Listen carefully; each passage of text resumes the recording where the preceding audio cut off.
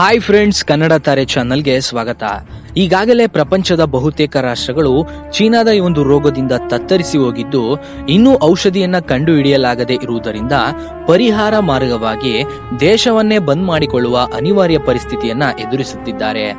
Asia ರಾಷ್ಟ್ರಗಳಷ್ಟೇ ಅಲ್ಲದೆ, ಐರೋಪ್ಯ ಹಾಗೂ ಅಮೆರಿಕನ್ ರಾಷ್ಟ್ರಗಳು ಕೂಡ ಇದರಿಂದ ತತ್ತರಿಸಿ ಹೋಗಿದ್ದು, ಆರ್ಥಿಕತೆಗೆ ದೊಡ್ಡ ಹೊಡೆತ ಬಿದ್ದಿದೆ.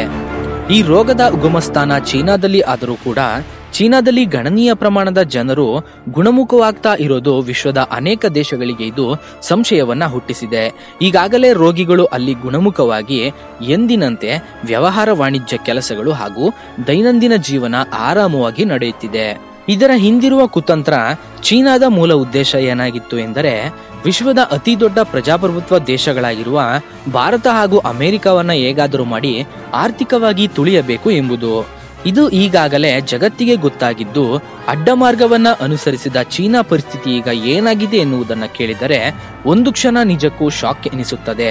ಹಾಗೂ ತಾನೇ ತೋಡಿದ್ದ ಹಳ್ಳದಲ್ಲಿ ಚೀನಾ ಈಗ ಬಿದ್ದಿದೆ. ಸಂಪೂರ್ಣ ಮಾಹಿತಿಯನ್ನ ತಿಳಿಯುವುದಕ್ಕಿಂತ ಮುಂಚೆ ಚೀನಾದ ಒಂದು ರೋಗ ಆದಷ್ಟು ಬೇಗ ನಮ್ಮ ದೇಶ ಹಾಗೂ ಜಗತ್ತನ್ನೇ ಬಿಟ್ಟು ತೊಲಗಲಿ ಎನ್ನುವಂತಿದ್ದರೆ ಈ ವಿಡಿಯೋನ ಲೈಕ್ ಮಾಡಿ ಹಾಗೂ ಮತ್ತಷ್ಟು ವಿಡಿಯೋಗಳಿಗಾಗಿ ನಮ್ಮ ಚಾನಲ್ಗೆ ಸಬ್ಸ್ಕ್ರೈಬ್ ಮಾಡಿ.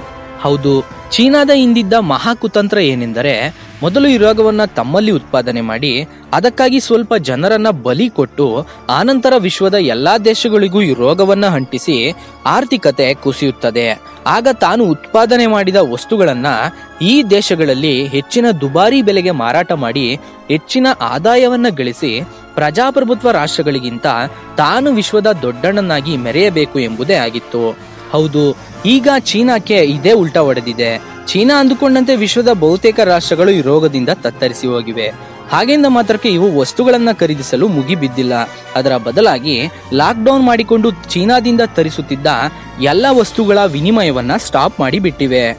ನಂಬಲು ಕಷ್ಟ ಸಾಧ್ಯವಾದ ವಿಷಯ ಏನೆಂದರೆ ಚೀನಾದಲ್ಲಿ ಉತ್ಪಾದನೆಯಾಗುತ್ತಿರುವ ಚಿಕ್ಕ ಪುಟ್ಟ ಆಟದ ಸಾಮಾನುಗಳು, ಪಟಾಕಿಗಳು, ಎಲೆಕ್ಟ್ರಾನಿಕ್ ವಸ್ತುಗಳು, ಸೌಂದರ್ಯವರ್ಧಕಗಳು, ಅಲಂಕಾರಿಕ ವಸ್ತುಗಳು ಭಾರತ ಸೇರಿದಂತೆ ಹಲವು ರಾಷ್ಟ್ರಗಳಲ್ಲಿ ಮಾರಾಟ ಮಾಡುವ ದೊಡ್ಡ ಮಾರುಕಟ್ಟೆಯನ್ನ ಚೀನಾ ತನ್ನದಾಗಿಸಿಕೊಂಡಿತ್ತು.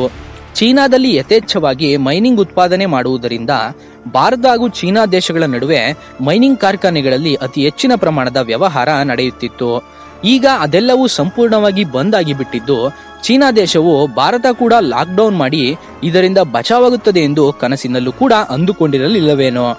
ಈಗ ಚೀನಾಕ್ಕೆ ವ್ಯಾಪಾರ ವಾಣಿಜ್ಯದಲ್ಲಿ ಹೊಡೆತ ಬಿದ್ದಿರುವುದು ಅಷ್ಟೇ ಅಲ್ಲದೆ, ಮುಂದಿನ ದಿನಗಳಲ್ಲಿ ಈಗಾಗಲೇ ಜನರು ಚೀನಾದ ವಸ್ತುಗಳನ್ನ ಬಳಸುವುದನ್ನ ಕಾಲಕ್ರಮೇಣ ಕಡಿಮೆ ಮಾಡಿರುವುದರಿಂದ ಹಾಗೂ ಬಿಡುವುದರಿಂದ ಭಾರತದ ಸ್ವದೇಶಿ ಉತ್ಪಾದನೆಗಳಿಗೆ ಒಂದು ಬೆಲೆ ಹೆಚ್ಚಾದರೂ ಕೊಟ್ಟು ಖರೀದಿ ಮಾಡುವ ಉದ್ದೇಶದಿಂದ ದೇಶಾಭಿಮಾನವನ್ನ ಹುಟ್ಟಿಸಿಕೊಳ್ಳುತ್ತಾರೆ.